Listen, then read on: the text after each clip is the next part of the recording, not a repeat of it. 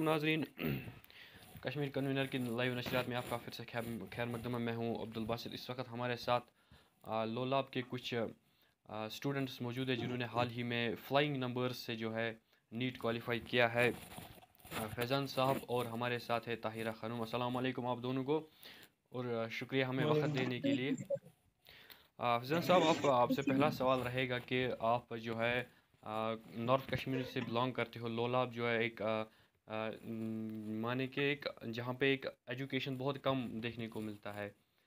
तो वहाँ पे आपने किस तरह से जो है आ, ऐसे निखर के आए आप दोनों?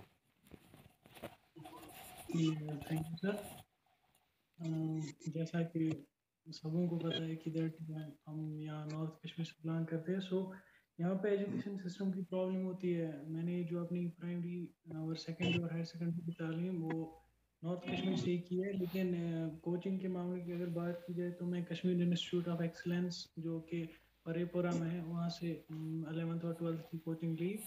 उसके बाद फ्रेशर्स की कोचिंग आई मैंने आकाश, श्रीनगर, आकाश जम्मू से ली सॉरी तो प्रॉब्लम होती है नॉर्थ कश्मीर में प्रॉब्लम होती है, लेकिन ये एक स्ट्रगलिंग पार्ट होता है नॉर्थ कश्मीर के स्टूडेंट्स के लिए बिकॉज़ इंटरनेट की फैसिलिटी भी नहीं होती, बहुत सारी फैसिलिटीज़ नहीं होती है। स्टिल अलहमदिल्ला अल्लाह ताला ने एक्चुअली अल्लाह तला की करामत है कि हम दोनों को ऐसी सलाह दी ताकि हम इस नेशनल लेवल के एग्ज़ाम कर सकें। बिल्कुल ताहिरा खानम साहब से भी, भी यही सवाल रहेगा कि किस तरह आप जो है ऐसे इलाके से उभर के आई है?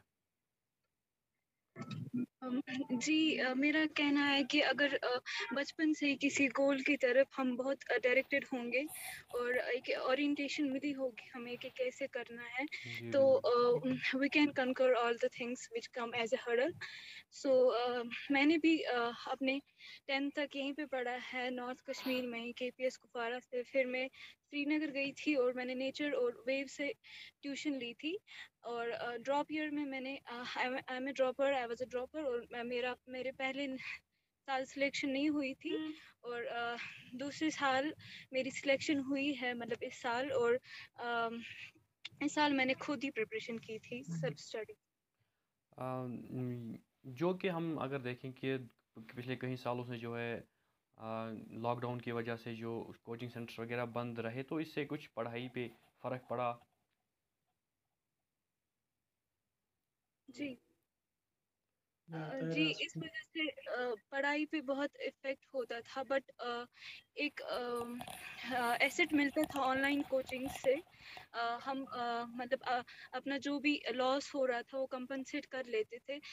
बाकी जो भी इफ़ेक्ट हुआ इसकी वजह से हमारा माइंड भी डिस्टर्ब रहता था। बट अलहमदिल्ला खुदा की मदद से हमने हम फोकस रहे अपने गोल पे और हमने अब ये अचीव किया हमने सिलेक्शन पार्टी जी, फैज़ान साहब, आपसे भी यही सवाल रहेगा। जी लॉकडाउन की वजह से सिर्फ़ एक ये परेशानी हुई कि जो एग्जामिनेशन में डिले हो रहा था तो सारे स्टूडेंट जैसे ऑल ओवर इंडिया के स्टूडेंट्स वो डेलीमा में थे। तो वैसे कश्मीर के students like me and Tayra हम भी बहुत डेलीमा में थे कि एग्जामिनेशन पीछे जा रहा है। आई एम ऑल्सो ड्रॉपर पिछले साल भी यही प्रॉब्लम हुई।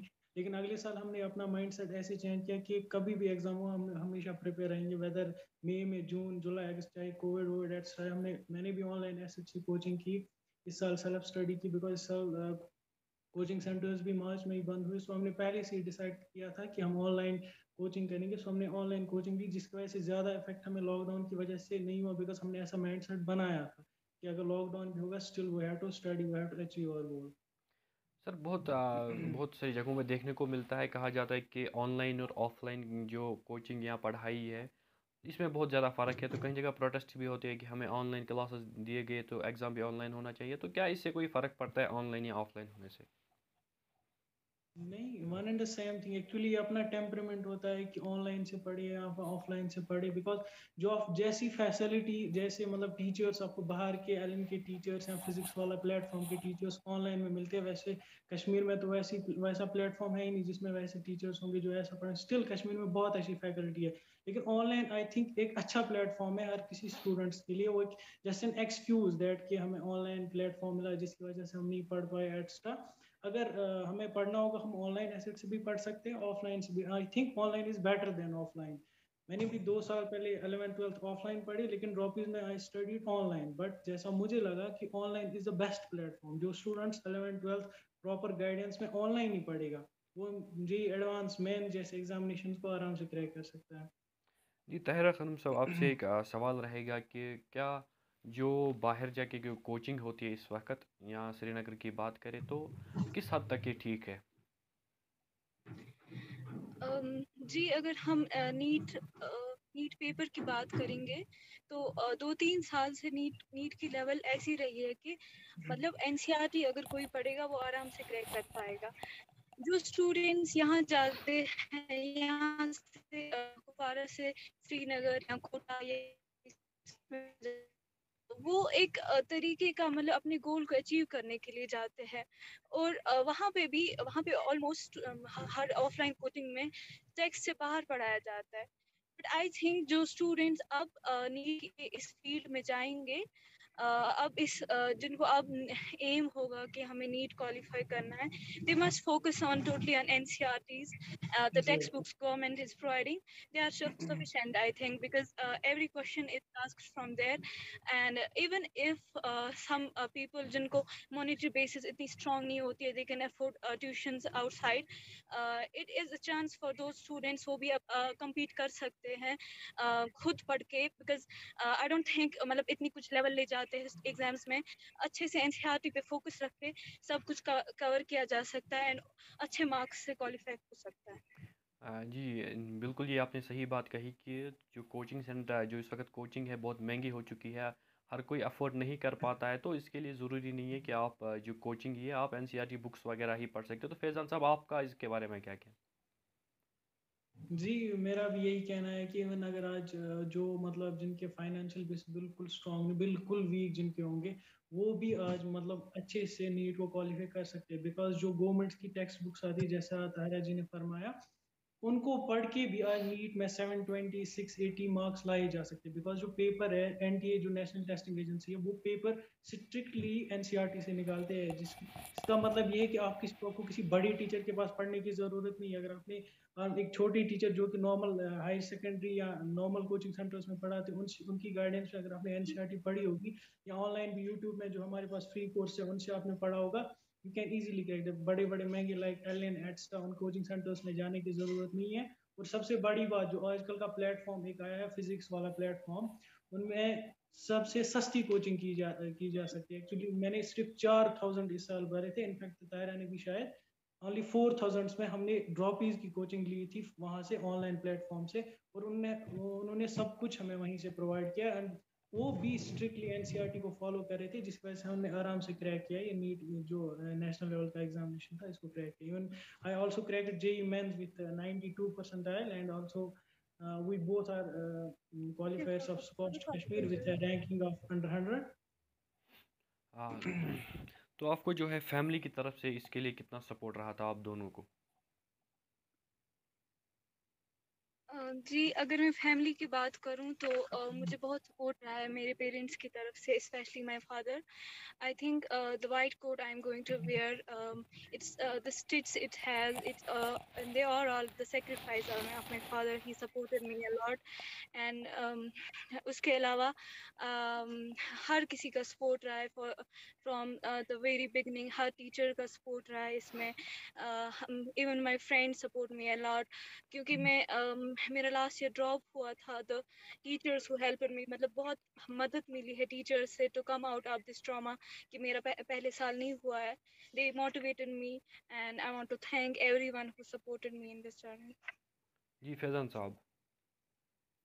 जी आ, मेरी फैमिली ने भी मुझे बहुत सपोर्ट किया स्पेशली माय फादर तो सपोर्ट करती है और मेरी मामा ने भी मुझे बहुत ज़्यादा सपोर्ट किया एज जैसे मैं पढ़ रहा था, मैं दो तीन बजे तक अगर पढ़ता था, वो भी दो तीन बजे तक नहीं सोती थी। मतलब मुझे चाय का सब मतलब बहुत सपोर्ट किया उन्होंने अपनी तरफ़ से। जो उनकी मतलब जो उनके हद में था, वहाँ तक उन्होंने सपोर्ट किया। In fact my friends also supported me and one of my friend close friend थी शी कुड नॉट मेक उसकी सिलेक्शन नहीं हुई। स्टिल उसने मुझे बहुत ज़्यादा सपोर्ट किया। As I meet covid in my preparation time मुझे कोरोना भी हुआ था। I I remained till for three months लगभग टू एंड हाफ़ मंथ्स में बीमार भी रहा एंड आफ्टर बीमार होने के बाद भी फिर एक नहीं, दूसरे दिन मेरा जेई का पेपर था एंड मैं जब वहाँ गया तो फिर पेपर भी अच्छा हुआ। सो वो जो फ्रेंड थी मेरी, उन्होंने बहुत ज़्यादा मुझे हेल्प किया, उसको भी थैंक करना चाहता हूँ। इनफैक्ट ताहिरा को भी थैंक यू बोलना चाहता हूँ। उन्होंने भी बहुत हेल्प की और मेरी फैमिली की तरफ़ से पूरा सपोर्ट आया मुझे अपनी प्रिपरेशन के टाइम में। स्पेशली माई मदर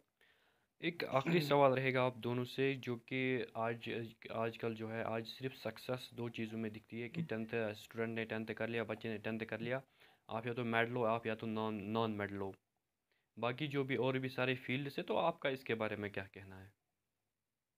जी पहले मुझे लगता है इट इज़ रॉन्ग असेसमेंट कि स्टूडेंट्स को मार्क्स के बेसिस पे बोला जाता है कि ये फ़ील्ड चूज़ करो। फॉर एग्जांपल अगर किसी स्टूडेंट को 400 मार्क्स 400 के रेंज में आते ही इज़ कॉल्ड के मेडिकल लो नीट करोगे और uh, इससे काम आएँगे तो ऑब्वियस घर वाले भी बोलते हैं कोई और फ़ील्ड चूज़ करो। But it's totally wrong marks don't matter और स्पेशली uh, uh, अगर ये देखा जाए कि सिर्फ़ नीट और जेई के लिए ऑप्ट कर रहे स्टूडेंट्स बट आई थिंक ये भी कुछ ठीक माइंड सेट नहीं है हमारी सोसाइटी का because we need we need people in other fields also like UPSC के लिए बहुत बड़ा एग्ज़ाम है उसके लिए भी हमें हमारे uh, ये स्टूडेंट्स जो है वो प्रिपेयर करने चाहिए। बट uh, ये माइंड सेट जो है बहुत uh, गलत है uh, क्योंकि स्टूडेंट्स uh, पे uh, मतलब they are inflicted with this that you have to go in the medical field और इंजीनियरिंग चाहे उनका शौक हो चाहे उनकी एम हो या ना हो this is somehow I think मतलब uh, ये प्राइमरी uh, स्कूल्स में या हाई हाई स्कूल्स में ये गाइडेंस होनी चाहिए स्टूडेंट्स को कि वो अपना करियर कैसे चूज़ करेंगे. And talking about me it was not inflicted me my father never told me कि तुम्हें डॉक्टर ही बनना है बनना है. इट वॉज़ माइंड विश कि मैं डॉक्टर बनूं my aim and uh, that's why i stand there. Uh, even though I got a drop last year, I uh, bounced back and I did it this year. Wow. Rest, I think this mindset is totally totally wrong of this society. Um, that uh, सिर्फ़ NEET और JEE के पीछे दौड़ना ये बहुत गलत है फैजान साहब एक और सवाल आया है मेरे दिमाग में कि जो ये कम्पिटिटिव एग्ज़ाम्स होते हैं नीट या जेई की बात करें तो एक स्टूडेंट को किस वक्त से शुरू इसके लिए तैयारी शुरू करनी चाहिए? एक स्टूडेंट को चाहिए अगर उसको मतलब हमारे पास दो टाइप के नेशनल लेवल एग्जामिनेशन है, एक नीट और हमारे पास जेई मेंस और एंड एडवांस है। अगर एक स्टूडेंट एक अच्छा मतलब अच्छे फ़ील्ड में जाना चाहते हैं, इन JEE Mains and like JEE advance जो कि बहुत toughest competitive exam in world और यूजुअली इंडिया में भी माना जाता है तो आई थिंक नाइन्थ से उसको प्रिपेयर करना चाहिए कि आई मुझे जे एडवांस करना है तो तब से उसको उसी प्रिपरेशन लेवल अपनी वैसी करनी चाहिए कि उसको जे एडवांस करना है। मतलब एडवांस ओरिएंटेड स्टडीज़ हम ऐसी यूजुअली भी बोलते हैं कि उसको एडवांस स्टडी करनी है। तो उसको नाइन्थ से ही स्टार्ट करना एडवांस के लिए मतलब अच्छे से पढ़ना। एंड अगर हम नीट की बात करें तो अगर एक इंसान अच्छे से अलेवन से कॉन्सिस्टेंटली एट और नाइन आवर्स पढ़ेगा मतलब अच्छी गाइडेंस में रहेगा so he or she can easily crack NEET in in their first attempt I think so usually first attempt में बहुत कम बच्चों का नीट हो जाता है, या जेई हो जाता है, लेकिन जो जो स्टूडेंट अलेवंथ से स्टार्ट करेंगे, वो आराम से पहली अटेम्प्ट में सिलेक्शन ले जा सकते हैं। अगर किसी का फ़र्स्ट अटेम्प्ट में नहीं होता है तो उसको हार नहीं माननी चाहिए थी उसके बारे में। ओबियसली ओबियसली बिकॉज़ ये एग्ज़ाम हर लाख सोलह लाख बच्चे एग्ज़ाम देते हैं जो कि सिलेक्शन रेशो इसका बहुत खराब है। ओनली एक लाख एक लाख से भी कम बच्चे सिलेक्ट हो जाते हैं। दैट डजंट मीन कि जो पंद्रह लाख बच्चे हैं वो एलिजिबल नहीं है एक्स्ट्रा दे शुड ट्राई अगर कोई पहले अटेम्प्ट में ड्रॉप हुआ सेकंड इनफैक्ट माय फ्रेंड्स आदि आदि जो कि